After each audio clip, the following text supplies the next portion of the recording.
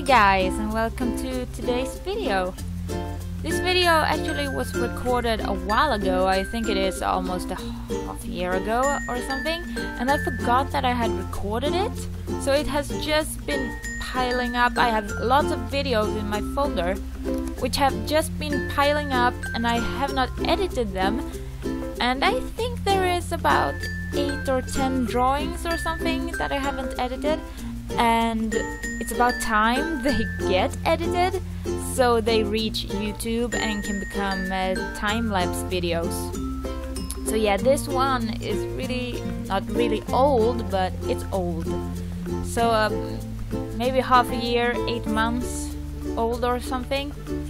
But anyways, I found it in my stash and now I'm uh, going through them one by one and editing them so they reach YouTube, like I said. So yeah, I don't know what I can talk about about this drawing because it's such a long time ago. I don't know if there was something that I didn't like or if something didn't work out as I had planned it to or anything, but um, yeah, it's just basically drawing and she looks a little bit funny there in the face, I admit that.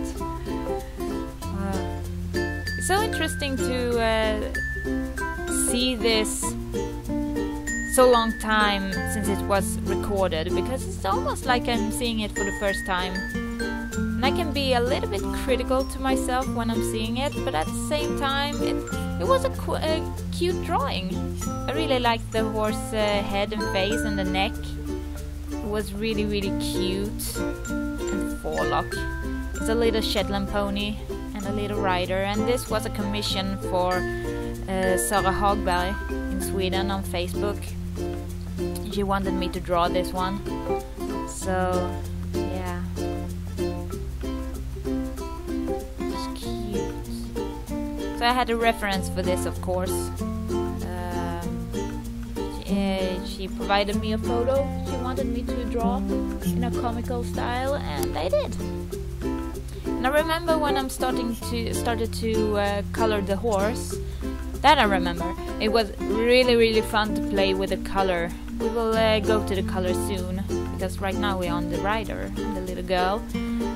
But I remember distinctly that the pony was really fun and also a little bit difficult to get the right in the color because it's um, I think it is a mealy bay, dark mealy bay or something like that. So it was fun to play with the colors and try to get it right and make it look like the reference picture. It's not always so easy to get it to look like a reference picture, but I think I managed pretty well because uh, the commissioner, she was happy with it.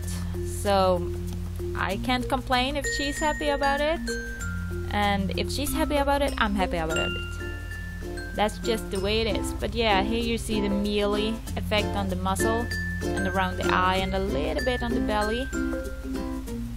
And it really looked nice when I was done. It really, really came out nice with the, the mealy and the light color versus the dark. And of course, with a light background with snow have much to say about it now. But anyways, it's the end of the video, so I don't need to. But here is the finished result. And it became... It's cute. It's cute with children and a pony. Here you have some previous videos, just like always. You can comment down below what you thought of this, and I see you in the next video, guys. Bye!